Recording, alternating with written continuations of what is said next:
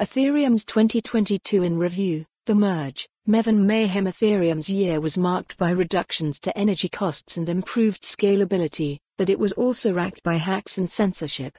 Join the most important conversation in crypto and Web3 taking place in Austin, Texas, April the 26th to the 28th. Secure your seat. Join the most important conversation in crypto and Web3 taking place in Austin, Texas, April the 26th to the 28th. Secure your seat in 2022. Ethereum ticked off several boxes on its checklist toward creating a global computer and decentralized financial system.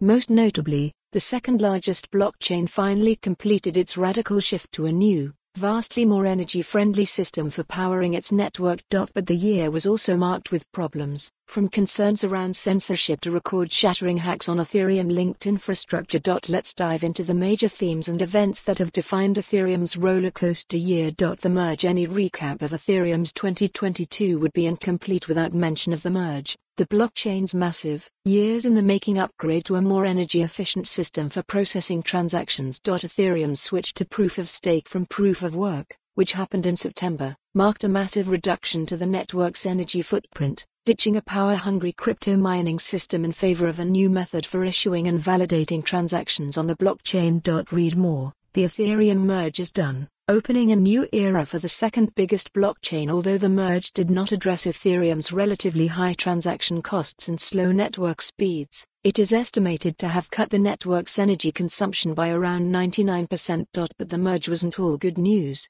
Ethereum's new power structure, where follow the URL for the full article for more on this story, visit the news article link.